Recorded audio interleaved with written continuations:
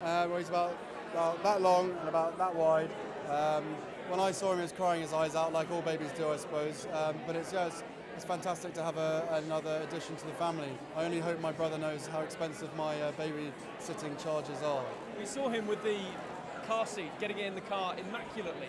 Is that just a charade? Is he really cut out for fatherhood? Of course he is. Hopefully most people are, otherwise why bother having a child? And tell us a little bit about whether he takes after anyone in the family. Any characteristics that you've spotted having met him?